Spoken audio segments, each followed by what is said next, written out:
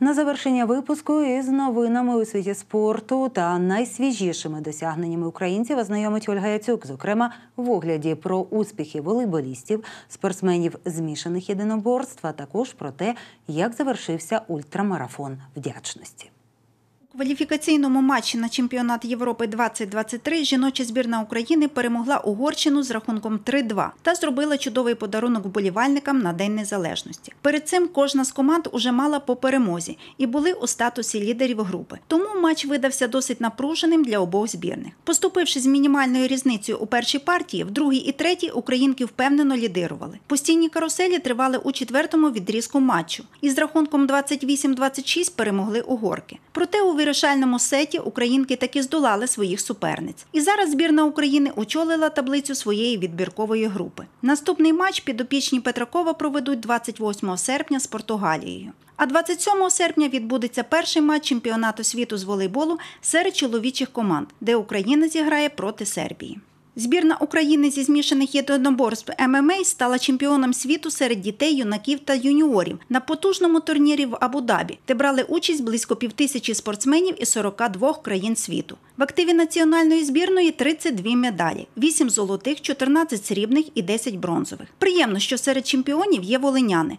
У наймолодшій групі дівчат до 13 років турнір виграла Поліна Ковернова, а у старшій серед хлопців до 17 років Іван Поремчук. 24 серпня на День Незалежності України у Варшаві, як і планували, завершили свій ультрамарафон київський рятувальник Володимир Сковородка та його волинський колега Сергій Борков. Учасники забігу подолали дистанцію завдовжки понад 800 кілометрів від столиці України до столиці Польщі за 14 днів. Останній відрізок маршруту Володимир Сковородка та Сергій Борков пробігли разом зі своїми польськими колегами. Цей забіг українські рятувальники здійснили в рамках проекту Ультрамарафон вдячності, що об'єднує Україну та дружню нам Польщу в знак подяки полякам за підтримку у війні.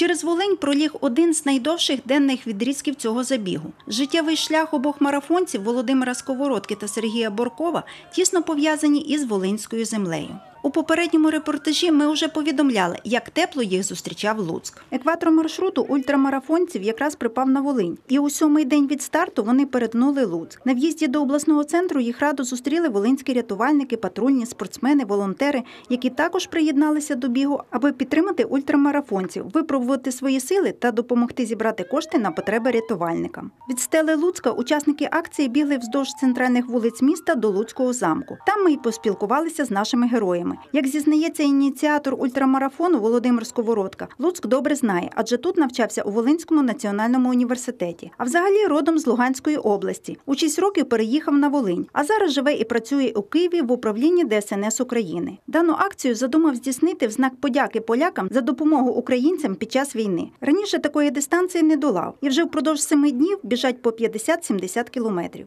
Сьогодні так чудово, все, дистанція зайшла, все добре, друзів багато. Рівненчани привели до кордону з Волинською областю. Волинь зустріла душевно. На День Незалежності неньки постараюся фінішувати, таким чином зустріти наше свято, згуртувати наші, наш, нашу країну, наші країни, подякувати Польщі і повертатися далі до перемоги працювати. У кожному місті і селі, де побували марафонці, об'єднали у своїх лавах рятувальників і спортсменів, поліцейських і військових, волонтерів та усіх, хто підтримує Україну. Долаючи величезну відстань, Володимир Сковородка зібрав понад 500 тисяч гривень на обладнання для своїх колег-рятувальників, а також встановив новий національний рекорд України, пробігши 800 кілометрів за 14 днів. Ольга Яцюк для новин на часі.